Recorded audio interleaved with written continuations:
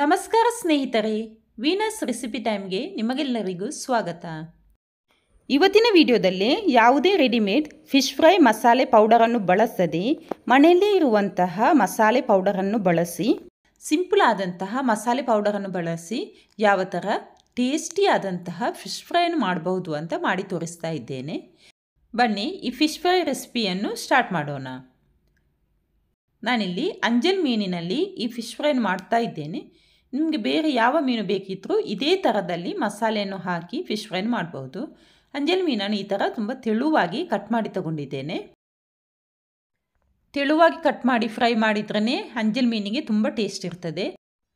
ಈಗ ಇದಕ್ಕೆ ಏನೆಲ್ಲ ಮಸಾಲೆ ಬೇಕೋ ಅದನ್ನು ರೆಡಿ ಮಾಡುವ.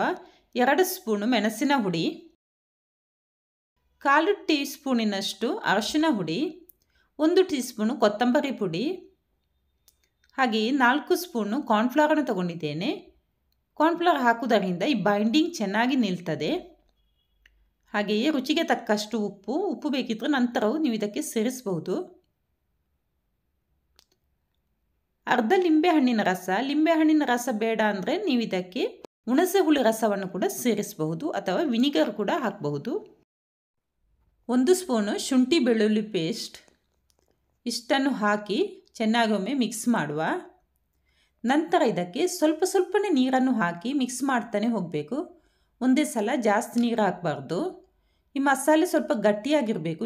ಜಾಸ್ತಿ ನೀರಾಗಿರಬಾರ್ದು. ಜಾಸ್ತಿ ನೀರಾಗಿದ್ದರೆ ಮೀನಿನ ಮೇಲೆ ಕೋಟಿಂಗ್ ಸರಿಯಾಗಿ ನಿಲ್ಲುವುದಿಲ್ಲ.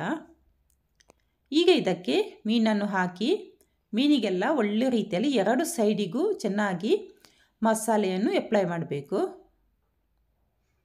ಎಲ್ಲ ಮೀನಿಗೆ ಇದೇ ಥರ ಮಸಾಲೆನೇ ಅಪ್ಲೈ ಮಾಡಿ ಸೈಡಿಗೆ ಇರಬೇಕು ಈ ಟೈಮಲ್ಲಿ ಉಪ್ಪು ಸಾಕಾಗದಿದ್ದರೆ ಸ್ವಲ್ಪ ಉಪ್ಪನ್ನು ನೀವು ಸೇರಿಸಬಹುದು. ನೋಡ್ಬೋದು, ಈಗ ಎಲ್ಲ ಮೀನಿಗೆ ಮಸಾಲೆಯನ್ನು ಹಾಕಿ ಇದನ್ನು ಅರ್ಧ ಗಂಟೆಯಿಂದ ಟೈಮ್ ಇದ್ದರೆ ಒಂದು ತಾಸು ಕೂಡ ನೀವು ಇದನ್ನು ಮ್ಯಾರಿನೇಟ್ ಮಾಡಲಿಕ್ಕೆ ಇಡಬೇಕು. ಬೇಕಿದ್ರೆ ನೀವು ಇದನ್ನು ಫ್ರಿಜ್ಜಲ್ಲಿ ಕೂಡ ಅರ್ಧ ಗಂಟೆ ಇಡಬಹುದು. ಈಗ ಅರ್ಧ ಗಂಟೆ ನಂತರ ನಾನಿಲ್ಲಿ ಮೀನು ಫ್ರೈ ಮಾಡಲಿಕ್ಕೆ ಎಣ್ಣೆಯನ್ನು ಬಿಸಿ ಮಾಡಲಿಕ್ಕೆ ಇಟ್ಟಿದ್ದೇನೆ. ಎಣ್ಣೆ ಚೆನ್ನಾಗಿ ಬಿಸಿಯಾದ ಮೇಲೆ ಇದಕ್ಕೆ ಎರಡು ಕರಿಬೇವಿನ ಸೊಪ್ಪನ್ನು ಈ ಥರ ಹಾಕ್ತಾ ಇದ್ದೇನೆ. ನಂತರ ಮೀನನ್ನು ಕರಿಬೇವಿನ ಸೊಪ್ಪಿನ ಮೇಲೆ ಹೀಗೆ ಇಟ್ಟರೆ ಈ ಕರಿಬೇವಿನಲ್ಲಿರುವಂತಹ ಫ್ಲೇವರ್ ಎಲ್ಲ ಈ ಮೀನಿನ ಒಳಗೆ ಸೇರಿಕೊಂಡು ಈ ಮೀನಿಗೆ ಟೇಸ್ಟ್ ಹಾಗೂ ಪರಿಮಳ ತುಂಬ ಚೆನ್ನಾಗಿ ಬರ್ತದೆ. ಹೀಗೆಯೇ ನೀವು ಇದನ್ನು ಎಂಟರಿಂದ ಹತ್ತು ನಿಮಿಷ ಎರಡು ಸೈಡ್ ತಿರುಗಿಸ್ತಾನೆ ಫ್ರೈ ಮಾಡಬೇಕು. ಇದನ್ನು ನೀವು ಲೋ ಫ್ಲೇಮಲ್ಲೇ ಫ್ರೈ ಮಾಡಬೇಕು. ನೋಡ್ಬೋದು ಈಗ ಈ ಥರ ಕಲರ್ ಚೇಂಜ್ ಆಗ್ತಾ ಬಂತು. ಒಳ್ಳೆ ರೀತಿಯಲ್ಲಿ ಸ್ವಲ್ಪ ಕ್ರಿಸ್ಪಿ ಆಗುವ ತನಕ ಇದನ್ನು ಫ್ರೈ ಮಾಡಬೇಕು. ನೋಡ್ಬೋದು ಈಗ ಯಾವ ಥರ ಇದು ಕಂಪ್ಲೀಟಾಗಿ ಫ್ರೈ ಆಗಿದೆ ಅಂತ. ಈಗ ಇದರಲ್ಲಿರುವಂಥ ಎಣ್ಣೆಯನ್ನೆಲ್ಲ ತೆಗೆದು ಈ ಥರ ಒಂದೊಂದೇ ಮೀನನ್ನು ತೆಗೆಯುವ. ನಂತರ ಅದೇ ಎಣ್ಣೆಯಲ್ಲಿ ಇನ್ನೊಂದು ಸಲ ನಾನು ಉಳಿದಂತಹ ಮೀನನ್ನು ಫ್ರೈ ಮಾಡ್ತಾ ಇದ್ದೇನೆ. ಇದಕ್ಕೆ ಹಾಕಿರುವಂತಹ ಕರಿಬೇವಿನ ಸೊಪ್ಪನ್ನು ತೆಗೆಯುವಂಥ ಅವಶ್ಯಕತೆ ಇಲ್ಲ. ಅದೇನು ಸುಟ್ಟು ಹೋಗೋದಿಲ್ಲ. ಫ್ಲೇವರ್ ಚೆನ್ನಾಗಿ ಇರ್ತದೆ. ಅದರ ಮೇಲೇ ಇನ್ನೊಂದು ಸಲ ಕೂಡ ನೀವು ಈ ಥರ ಮೀನನ್ನು ಹಾಕಿ ಫ್ರೈ ಮಾಡಬಹುದು.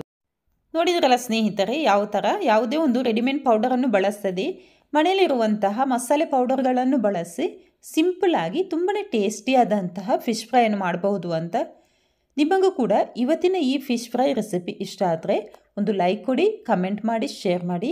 ಹಾಗೆಯೇ ನನ್ನ ಚಾನಲ್ಗೆ ಹೊಸಬರಾದರೆ ದಯವಿಟ್ಟು ಸಬ್ಸ್ಕ್ರೈಬ್ ಮಾಡಿ.